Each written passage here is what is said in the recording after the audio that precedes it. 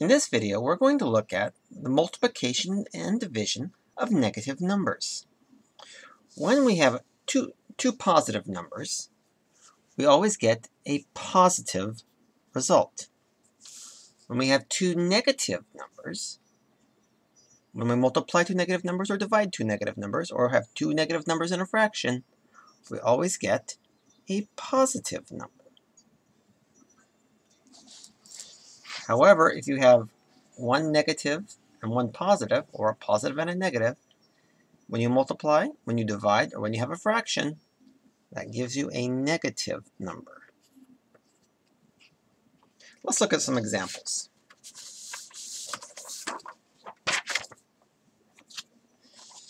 If we have, here we can do some multiplying. 3 times 4. We know the answer. That's 12. But negative 3 times negative 4. Once again, two negative numbers. Negatives cancel. Some people call it same switch switch because you got the same ones and you can switch the signs. You also get 12, or just be clear if you want, you can put a plus right there. Positive 12. Ah, negative 3 and positive 4. No, we don't say positive right there. But if there's no sign, we know it means it's a positive number. Put a little positive there if you want to remember. Negative 3, uh, 1 negative, 1 positive. That means we have a negative 12. Likewise, a positive 3 and a negative 4 gives us a negative 12. Let's, let's look at some quick examples here. Negative 1 and 2 negative 2. 2 and negative 1, 2 times negative 1, the answer is negative 2. 1 times negative 2, negative 2. 2 times positive 1, negative 2. If there is one, one negative and one positive, it's always negative. Let's take a look at some examples of division.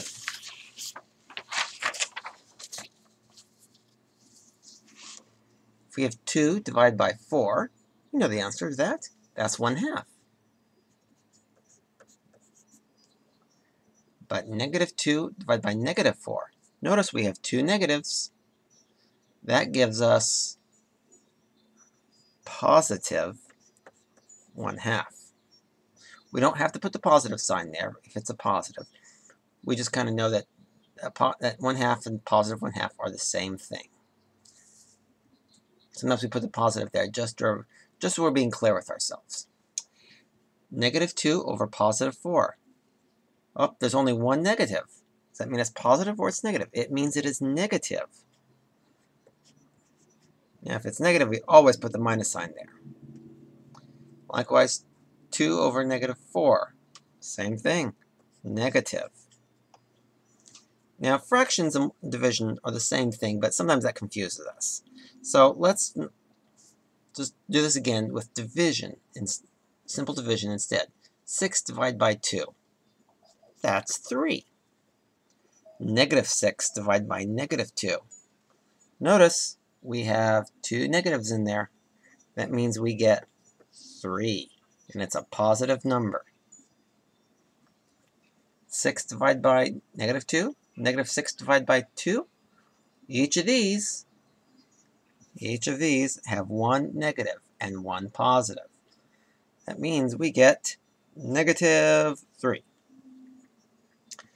Remember, when you are doing multiplication and division with negative numbers, two positives and two negatives gives us a positive number. One negative and one positive gives us a negative number.